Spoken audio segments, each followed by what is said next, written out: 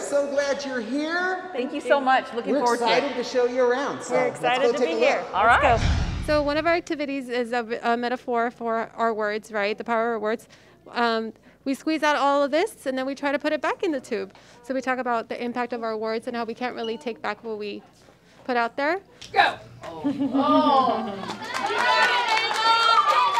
are gonna have 30 seconds to get as much toothpaste back into the tube as you can. Ready? Mark. One, two, three, go. And then the other activity we're gonna do is, um, I'll be quiet, it's glitter. How is glitter like gossip? And basically how it sticks, it's flashy, it's fun, but it gets stuck to you. It doesn't just go away. What you just saw was the introduction part of the three gates.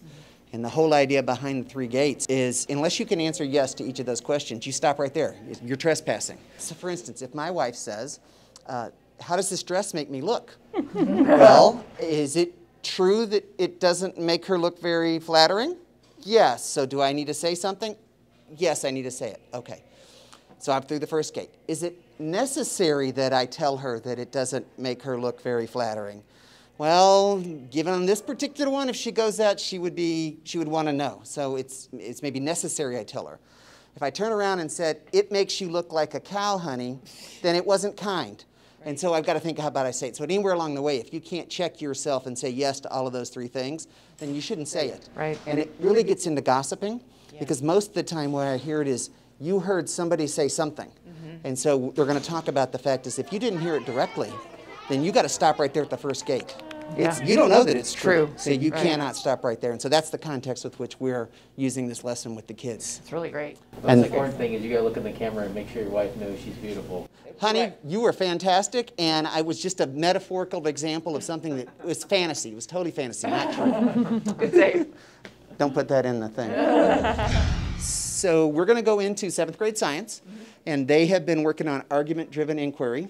Um, it is a, a design process or a research process that has about eight stages in it, where they go from the beginning of what's our question to designing their experiments, all the way through to collecting their data, presenting their data, and doing peer review. So you're trying to figure out which organism is most likely to survive a volcanic eruption? Yes. Oh, do you have a prediction yet? Definitely the ones that are um, that reproduce asexually will probably survive and be able to like regenerate quicker. Okay. We're talking about uh, story endings because we're writing um, creative stories. And so we're focusing on endings today. And so the main thing is making sure that they resolve their conflict. So, so tell us. Okay, so you're writing a story. Yep. And tell us about uh, just real briefly what it's about and, and why you chose that as your topic. Because it's your own story. You could write whatever you wanted. So yeah, I wrote um, about a kid who throws a piece of paper at his teacher because it, was for a dare, and he wanted to do it because he thought it would, be, it would be it would be funny, and he got caught and his, he got suspended from school. And he didn't tell his mom about it. So here's my question. Right now, y'all were talking about the climax of the story. So you, you thought a little bit about what the climax is and how it's going to go from. Yeah. So does it end well for this kid or not? It does because he his mom doesn't find out about it. Really? That's that's the message we want to send. Well, I was trying. I was I was trying to figure out like, if he should if he should if his mom should find out about it or should not. I haven't really. I mean, I've cho- I kind of chose, but I'm still kind of thinking about. Well, it. don't let me change your mind. It's your story, right? You get to write whatever you Yeah. want. Yeah, But right. uh, okay, so I just may not give it to other middle schoolers if the kid gets away in the end. Okay. So some of our school board members are here. Hello. And they don't know what you're all about. Can you explain to us what's going on, what you do, and then tell us what's the most important part about it? Our school relies a lot on technology, and us as students often need to learn life skills to help others out. So we have Hawk Squad, which uh, teaches us how to help other students uh, fix their computer problems. Cool. What's the best thing about this, and what's the worst thing about this? And we'll cut the worst part out.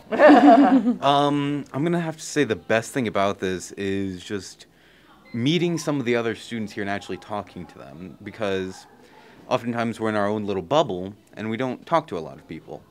And the worst thing about this in, is probably when there's not a lot of people here because it gets a little slow. Oh, then we'll. I'll take as, as principal. I will take that problem.